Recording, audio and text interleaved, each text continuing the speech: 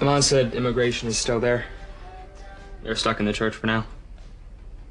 I don't understand. Why can't Callie and AJ leave? What was AJ even doing there? Who's AJ? Uh, he's Callie's ex. Yo, can you pass the O's? So, what happened to her boyfriend? Adam or Aaron? I don't know. Maybe they broke up. People breaking up at prom all the time. And getting back together. So, why are we all up on Mariana? That was just an act, right?